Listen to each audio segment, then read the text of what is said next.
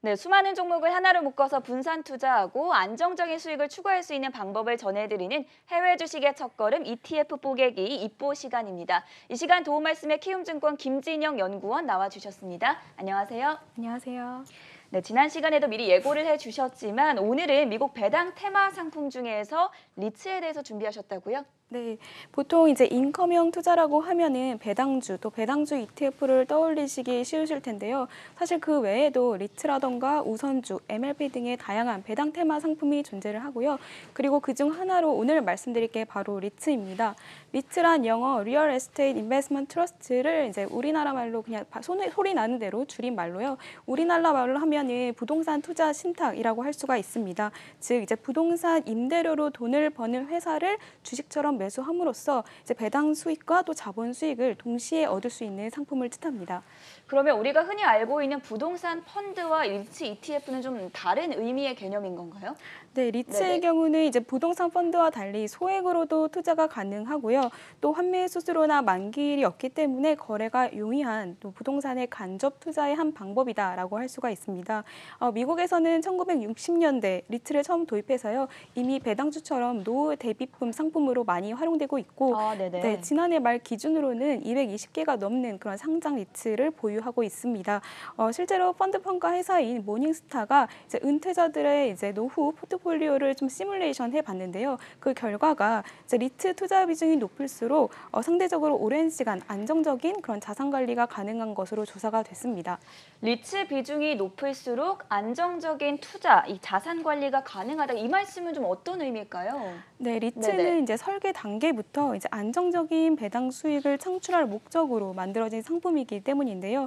즉 부동산 투자 회사가 이제 우량한 부동산 자산, 즉 뭐 빌딩이라던가 호텔, 뭐 오피스, 병원 이런 데 투자를 하고 거기에서 뭐 임대료라던가 어떤 매매 수익이 발생하면 그 수익의 무려 90%를 투자자들에게 아, 분배금처럼 나눠져야 하는 그런 의무를 가지고 있습니다. 때문에 배당 수익률도 굉장히 높은 편이다라고 할 수가 있겠고 또 리츠는 투자 위험과 또 기대 수익을 좀 고려했을 때 주식과 채권 사이의 성격을 띠는 상품입니다. 때문에 이제 중위험 또 중수익의 어떤 투자 성향을 가지신 분들이 접근하시기에 적절하다라고 할 수가 있겠습니다.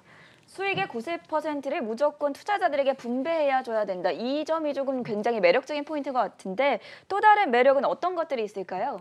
네, 리츠도 네네. 이제 증시에 상장되어 있다 보니 이제 증시 시황이나 어떤 부동산 경기에 영향을 좀 받습니다. 특히 이제 올해는 저금리 기조가 지속되다 보니까 이런 리츠 같은 income형 자산의 인기가 지속 확대되고 있는데, 음, 그렇죠. 네, 부동산 경기가 유지되기만 한다면 사실 이제 금리가 낮아지는 것이 즉 자본 조달 비용이 좀 하락하는 것이 부동산 리츠 회사들한테는 긍정적이다라고 할 수가 있고요. 물론 뭐 역사적으로 금리와 또 리츠 지수와의 어떤 관계가 절대적인 반비례 관계를 보인 것은 아니지만 사실 올해는 금리 하락에 따른 유동성 확대 효과가 지속돼서 나타나고 있기 때문에 실제로 리츠 지수가 수익률이 좋았다라고 할 수가 있습니다. 이제 올해 연초부터 8월 말까지 이제 미국 부동산 리츠 시장을 대표하는 FTSE Nareit 지수 같은 경우는 23.3% 수익률을 기록하면서 S&P 500 지수 대비 높은 그런 성과를 나타냈습니다. 지금 화면을 통해서도 함께 살펴보고 계시지만 S&P 500 지수보다도 오히려 수익률이 FTSE Nareit 지수가 훨씬 더 높게 상승하는 모습을 보여주고 있다는 점을 함께 체크를 해볼 수가 있었습니다. 지금 미국 배당 테마 상품의 하나인 리츠에 대한 매력 포인트들을 알아보고 있는데 그렇다면 본격적으로 투자 방법을 좀 알아볼까요? 네, 이제 리츠에 투자하시는 방법으로는 크게 이제 해외 리츠 기업을 직구하시거나 혹은 이제 해외 상장된 리츠 ETF를 투자하시는 방법 또한 이제 국내 출시된 펀드를 통하실 수가 있는데요. 총 세 가지가 있네요. 네, 크게는 저 정도로 분류가 가능하고요. 그 중에서도 이제 위험도 그나 그러고 또 편의성을 고려했을 때 미국에 상장된 리츠 ETF에 투자하시는 것이 가장 좀 편한 방법이 아닐까 생각을 하고 있습니다. 그 이유라면 이제 미국이 사실 리츠가 처음 도입된 본고장이라고 할 수 있겠고요. 또한 지금 글로벌 리츠 시장에서 이제 미국의 어, 미국 시장의 비중이 약 60%로 굉장히 크기 때문에 어떤 시장 규모라던가 다양성 측면에서 어, 국내보다는 선택의 폭이 더 넓다고 할 수 있겠습니다. 방법적인 부분에서는 리츠 역시 미국 ETF를 활용하면 된다는 말씀이신데 그래도 좀 만만치 않을 것이라는 생각이 듭니다. 관련 ETF 종류도 좀 어마어마하게 많을 것 같은데요.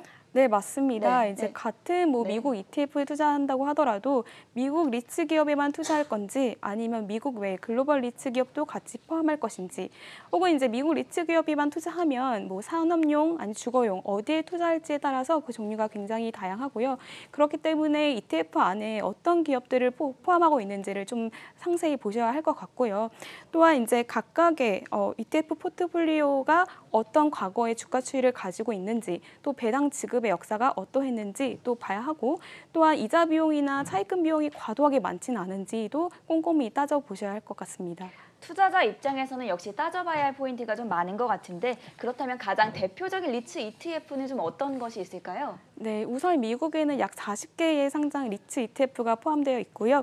그 중에서도 지금 말씀드린 이 리츠 ETF를 좀 빼놓을 수는 없는데요. ticker로는 VNQ라고 하고 full name은 벵가드 Real Estate Index Fund라고 합니다. 이제 벵가드라고 하는 운용사에서 2004년 9월에 출시를 했는데 8월 말 기준으로 이제 자금 운용 규모가 이제 357억 달러로 상장되어 있는 미국 ETF 중에 리츠 ETF 중에 가장 최대 규모라고 할 수가 있겠습니다. 아. 그리고 이제 VNQ 포트폴리오도 좀 같이 말씀을 드릴게요. 이제 아메리칸 타워라고 하는 종목이 6.87%로 가장 높은 비중을 차지하고 있고 그 다음이 크라운 캐슬, 프롤로지스, 사이먼 프로퍼티 등을 포함해서 이제 180개가 넘는 그런 리츠가 포함되어 있습니다. 이 중에서 이제 가장 높은 비중을 차지하고 있는 American Tower의 경우는 세계 최대 인프라 리츠라고 할 수가 있고요. 또 어제 미국 시장에서는 신고가를 좀 기록하기도 했습니다. 아. 네, 또 Prologis 같은 경우는 미국 1위의 그런 산업용 부동산 리츠입니다. 어, VNQ를 또 세부 유형으로 좀 살펴보시면 어, 상업용 리츠가 41%, 그리고 특수형 리츠가 39.7%, 그리고 주거용이 14.5% 정도로 이 세 가지 유형이 거의 대부분이고 또 이 외에 부동산 서비스라던가 부동산 개발업체 등에도 5% 내외로 소량 투자를 하고 있습니다. 한마디로 이제 미국 리츠에 골고루 투자하고 있다라고 보시면 되겠습니다. 리츠 ETF로는 전 세계 최대 규모를 나타내고 있는 이제 벵가드 운용사에서 만든 VNQ에 대한 이제 ETF를 설명을 해주셨는데 사실 그 포트폴리오 내용을 살펴봤을 때는 저는 좀 생소한 기업들이 많았는데 신고가를 올리고 있는 기업들도 있다고 말씀을 해주셨습니다. 좀 수익률도 궁금한데요. VNQ의 경우는 수익률이 좀 어떻게 나오고 있습니까? 네, 어제 종가 기준으로 좀 살펴봤더니 올해 25% 상승을 아, 했습니다. 많이 올랐네요. 네, 미국 S&P 500 지수가 올해 16% 정도 올랐으니까 거의 1.5배 음, 가까운 네. 수익을 더 났다라고 볼 수가 있는 거죠. 이제 작년 말부터 미국의 이제 금리 인하 기조가 지속되면서 올해 VNQ로 자금이 계속 유입되고 이제 보시면 13억 달러 정도가 들어왔습니다.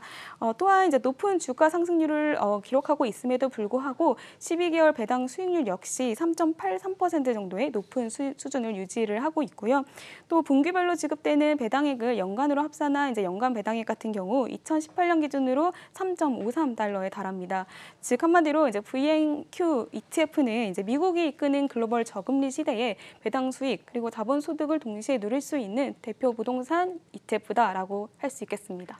지금과 같은 글로벌 저금리 시대에는 이렇게 배당 수익과 자본 이익을 동시에 누릴 수 있는 점이 가장 큰 매력 포인트가 될 것 같습니다. 그런데 리츠가 이렇게 지속해서 상승세를 보였다면 아무래도 추가 상승에 대한 우려감 투자자들 사이에서 있을 수밖에 없을 것 같거든요.